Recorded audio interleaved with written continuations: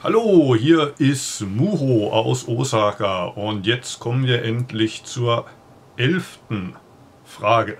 Wenn ich in dem Tempo weitermachen, weitermache, dann sind wir wahrscheinlich auch an Weihnachten noch beschäftigt mit den 120 Fragen, aber man kann sich ja Zeit nehmen. Ne? Ich glaube, jeder dieser Fragen ist sehr wichtig und irgendwann gehe ich vielleicht auch dazu über, in einem Video gleich zwei oder drei äh, Fragen zusammen äh, zu besprechen. Aber heute geht es wieder um eine einzige Frage, nämlich die Nummer 11.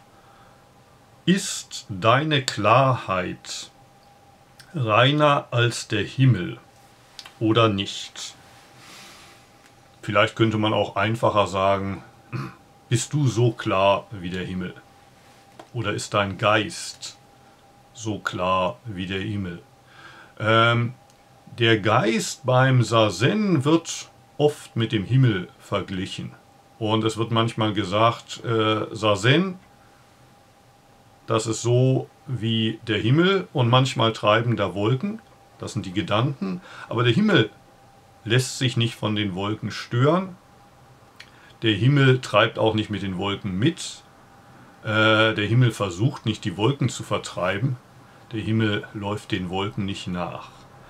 Und manchmal ist der ganze Himmel bewölkt, manchmal ist da ein Gewitter, ein Sturm, Regen und manchmal ist es wieder klar. Ne?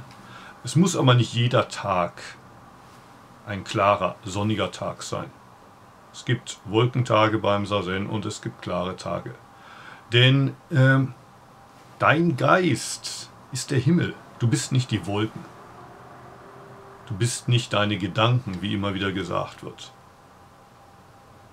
Aber oft identifizieren wir uns mit den Gedanken, wir laufen den Gedanken nach, wir lassen uns treiben mit den Gedanken oder umgekehrt, besonders am Anfang, wir haben irgendwo gelesen, gehört, dass man beim Meditieren nicht denken soll, also versuchen wir sozusagen den Schäfer zu spielen und äh, die Gedanken wegzuschieben.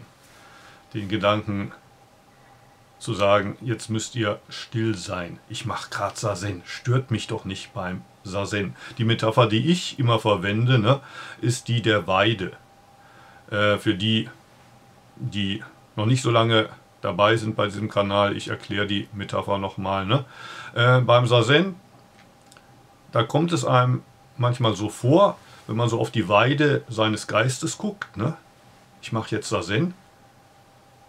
Ist da Ruhe auf der Weide? Man ist überrascht über die ganzen Schafe, die man davor noch gar nicht gesehen hatte unter Umständen. Ne? Dutzende, Hunderte, vielleicht sogar Tausende von Schafen, die einen riesen Lärm veranstalten. Mäh, mäh, mäh, mäh, mäh, aus allen Richtungen. Alle wollen deine Aufmerksamkeit haben. Und sie trampeln überall rum. Äh, du hast Angst, äh, dass sie vielleicht nicht nur das Gras fressen auf der Weide, sondern auch auf deine äh, sorgsam gehegten Blumen rumtrampeln und in den Gemüsegarten gehen und dir das Gemüse wegfressen. Also glaubst du, ich bin ja der Schäfer? Als Schäfer ist es meine Verantwortung, da Zäune zu bauen. Die Schafe müssen eingezäunt werden. Und da siehst du vielleicht, da sind ja auch ein, ein, paar schwarze Schafe. Die muss ich trennen von den weißen Schafen. Und am liebsten würdest du den Schafen vorschreiben, dass sie leise zu sein haben und dass sie dann auch, äh, wenn es dunkel wird, ganz artig zurückgehen sollen in den Stall. Und das stellt man dann beim Sazen sehr schnell fest. Die Schafe lassen sich vom Schäfer nichts vorschreiben. Du kannst dir noch so oft sagen, ich darf jetzt nicht denken, ich sollte jetzt nicht denken. Bitte Gedanken, verschwindet. Je mehr du mir, je mehr Aufmerksamkeit du deinen Gedanken schenkst, desto mehr werden's. Ne? Ähm, je mehr sich der Schäfer um seine Schafe kümmert, desto mehr Chaos veranstalten die. Du hast deine Zäune alle gebaut, die Herde springt wieder drüber. Ne? Die weißen und die schwarzen Schafe vermischen sich wieder. Das Mäh, Mäh, Mäh, Mäh hat kein Ende. Deshalb sage ich Leuten in Anfängerkursen äh, von Sazen oft, äh, vergesst den Schäfer, schickt den Schäfer in den Urlaub. Vielleicht als ein Zwischenschritt äh, kann man sich auf der Weide mal einen großen Baum suchen und da legt sich der Schäfer hin und guckt hoch in die Äste. Guckt, guckt hoch in die Äste bedeutet in dem Fall, er betrachtet seinen Atem, er spürt den Körper. Und dem, in dem Moment, wo der äh, Schäfer hochguckt in die Äste oder in die Berge in der Ferne, da stören ihn die Schafe nicht mehr. Ne? Ihr, hört, ihr hört zwar immer noch aus der Ferne das Mäh, Mäh, Mäh, Mäh, Mäh, Mäh, aber seine Aufmerksamkeit schenkt er jetzt nicht mehr den Schafen, sondern den Ästen, den Bergen. Das heißt, er spürt den Atem, den Körper, die Geräusche und plötzlich sind die Schafe nicht mehr so ein großes Problem. Der nächste Schritt kann sein, dass man zum Himmel wird. Und in meiner Metapher vom der Himmel zu sein bedeutet, du siehst die Schafe, du betrachtest die Weide, aber du spielst nicht mehr den Schäfer, das heißt, du versuchst nicht Ordnung zu bringen in die Herde. Du versuchst keine Kontrolle auszuüben über die Schafsherde. Du lässt die Schafe sein. Und wenn die ganz weit weg sich verirren, lass sie lass sie so weit laufen, wie sie wollen. Und vielleicht ist da unten immer noch der Schäfer.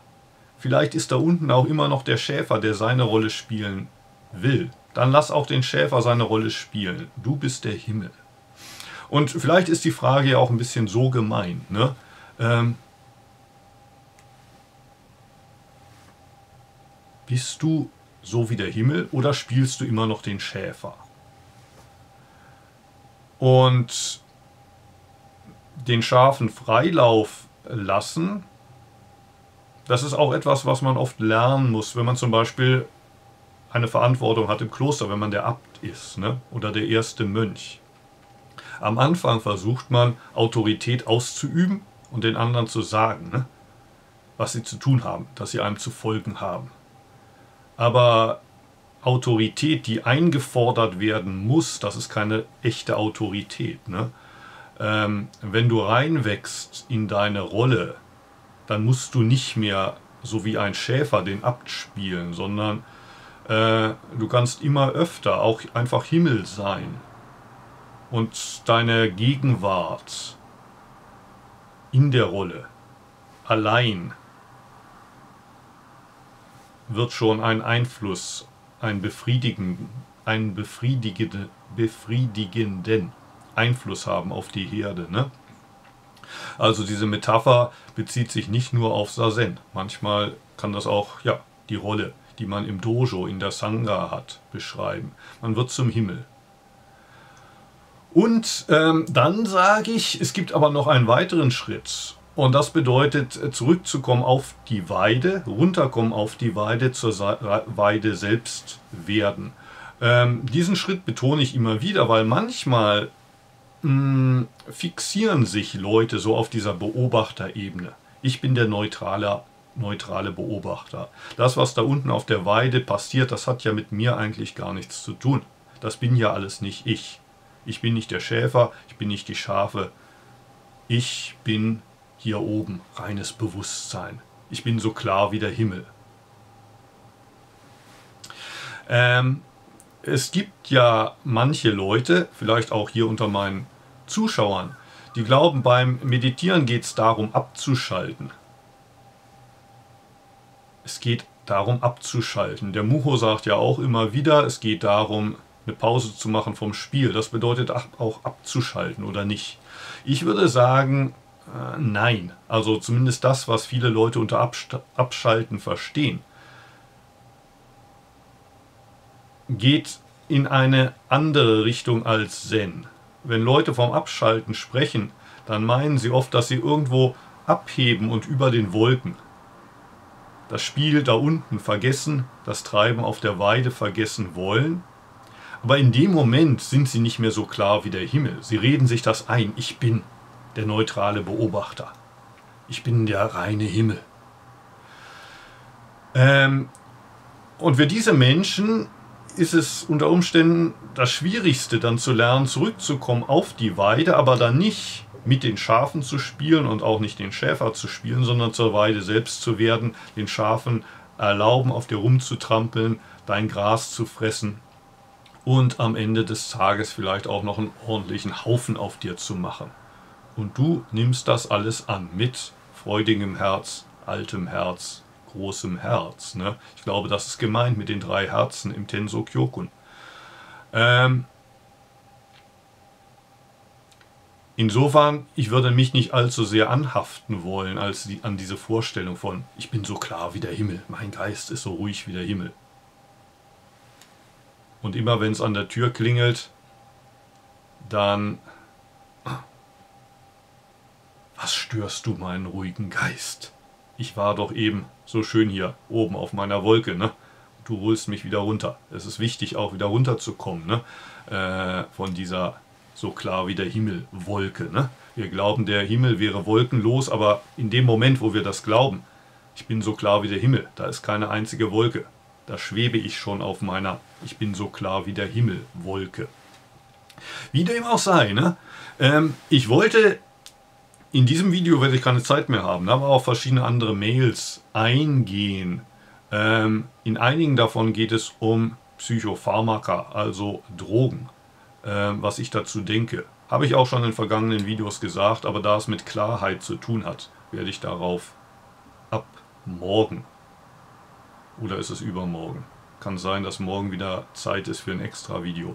Ich habe da den Plan nicht ganz zusammen. Aber beim nächsten Zen-Häppchen mit einer Nummer gehe ich auf eure Mails ein. Bis dahin danke fürs Zugucken.